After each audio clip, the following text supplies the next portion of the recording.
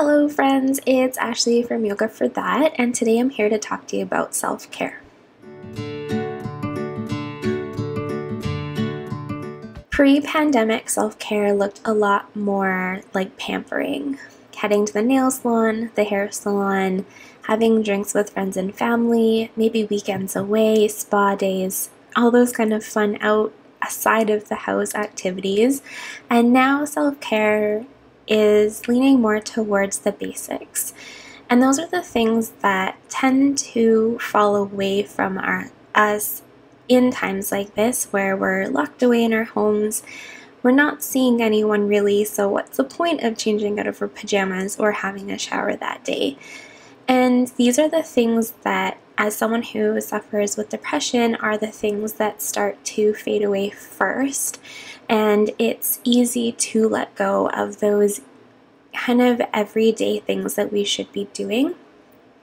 So, making sure that you're setting your alarm to get up at some point, hopefully the same time every day, changing out of your pajamas, maybe having a shower, brushing your teeth, washing your face, having nutritious breakfast, having something hot to drink in the morning, whether it's tea or coffee, um, drinking water throughout the day.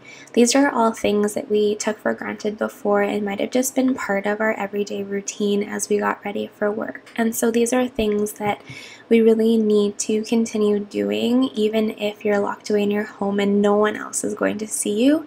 I do live with my husband, so some point I have to have a shower so I don't smell terrible. Um, but if you are living on your own or maybe you live with a roommate that you don't get too close to, do remember it's important to take care of yourself and to do all those basic things that might seem kind of pointless right now. That's kind of the first sign of not giving up per se, but just letting go of caring at all.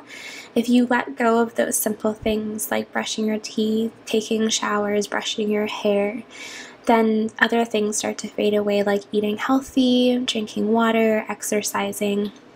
So this week I'm really focusing on kind of those three elements of the self-care, making sure, and I'm amping it up this week. So I'm, I ordered a, a facial kit through my um, favorite salon, so I'll link to that below as well so you can check that out.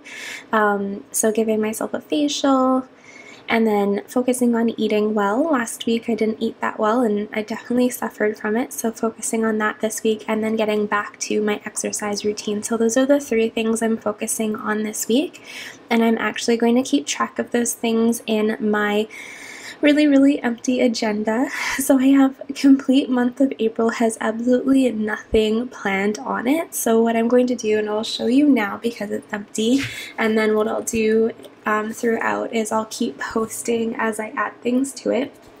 So when I stick to the routine, those three prongs that I've set out for myself, I'm going to add a little sticker to that day just so I can really see what I'm doing every single day to keep myself happy, healthy, and sane during this time. If you want to join along, um, let me know in the comments below and maybe I can set up some kind of group where we can all um, kind of keep track of that together. And if you just want to do it on your own, that's fine as well. Let me know in the comments if your self-care practice has changed at all or if you're going to maybe add something in this week just to help you feel a little bit better and more like your regular typical self. Um, I really hope you're all staying healthy out there and sane inside your homes and I hope one day soon we'll get back to our more normal routine. You can follow me pretty much anywhere at Yoga for That and find me at Yoga for That for more blog posts, more content, and you can join my Live Better community there as well. Please have an awesome day, and we will see you again next time. Thanks, guys. Bye.